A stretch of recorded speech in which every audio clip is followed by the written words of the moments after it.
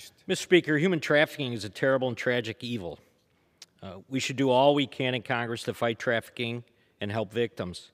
This legislation would change the law to direct Secretary of Transportation to post the contact information of the National Human Traf Trafficking Hotline in locations where victims may be able to see them and seek help.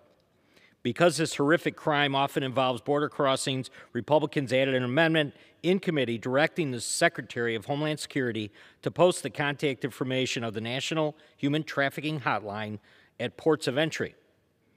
It is well documented that human traffickers often use the transportation industry for both recruiting and operations. In 2020, the latest year, for which data is available, 10,583 incidents of human trafficking were reported to the U.S. National Human Trafficking Hotline, and 16,658 victims of trafficking were identified.